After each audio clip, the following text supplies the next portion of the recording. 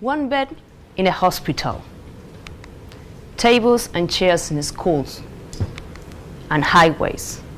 What do these things have in common? Public procurement. That's the purchase of goods and services by the government to serve the citizens. But if left unregulated, things can go wrong. And money from taxpayers is lost, but also it can lead to extreme consequences, such as this one. It happened in Paraguay some years ago. School falling down because of the use of substandard materials. Very often, we observe these bad outcomes, but it's already too late. So our partner is the DNCP, that's the national agency in Paraguay that regulates all the procurement processes in the country. And its aim is to avoid these bad outcomes. So the DNCP wants to be more proactive and better regulate all the procurement process at the very early stage so that it leads to less corrupt practices and at the end they will serve the citizens with better public goods and services. So what is the main challenge that the DNCP faces? They receive 10,000 procurements per year and they have 30 people in their staff to manually review them and come up with a conclusion whether a procurement is irregular or not. They use all their experiences, all their knowledge to come up with this conclusion in a three-day window. But sometimes they will receive complaints pointing out that the procurement was irregular, but this was not caught during the reviewing process. So this is the problem that the DNCP has. They miss some irregularities. They also waste time and effort reviewing procurements that were okay. Plus, they have some bias, as the complaints are more concentrated on the high-value procurements. So what's the solution and how the solution works? It, conte it contemplates all the DNCP past experiences, plus new features. So we combine all the human learnings with the power of machine learning to come up with a solution. But let's see how this actually works. This is the process they have now. But with the solution we built together with the DNCP, we managed to get a prioritized list of all the procurements based on the likelihood of containing an irregularity. So now the reviewer can focus first on the most risky ones.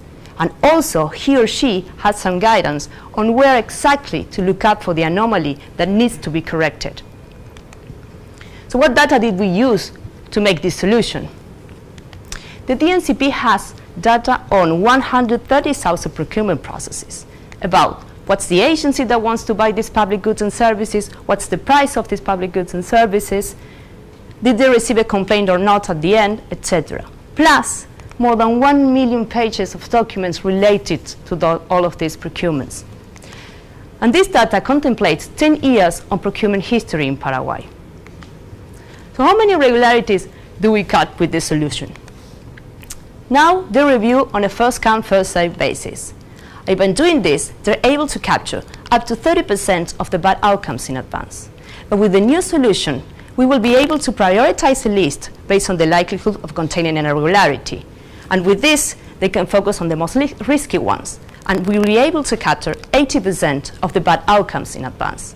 And not, not only that, they can, they can also concentrate on the bias that is in the complaints and be more fair in the reviewing processes.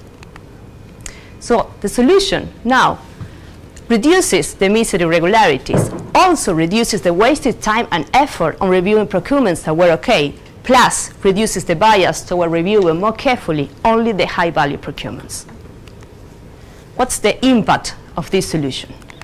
The solution can turn the tables on corruption, because for the first time, it is the regulators that are one step ahead of the process. And now they can, they can prevent corruption before it becomes tragedy. Secondly, it is more fair. Now, the most expensive procurements are more scrutinized than the lower value ones. But with the solution, we make sure that the lessons learned from the high value corruption cases are also used to understand the problems in the smaller procurements. And last but not least is to increase accountability because now the agencies will be more responsible for better quality procurements. In the case of Paraguay, which GDP is $4 billion, 10% is spent on public procurement. And out of that, 3% is lost due to corruption or irregularities. This means that with our solution, we estimate that we could potentially save for Paraguay $90 million per year. And with this money, Paraguay could build six hospitals, or 600 schools, or 500 kilometers of road. So thank you very much for your attention. My name is Maria. This is the team. Joao, Wen, Anna, Pablo, Josh, and this is our partner, Pablo and Juan from the DNCP. Thank you very much for your attention.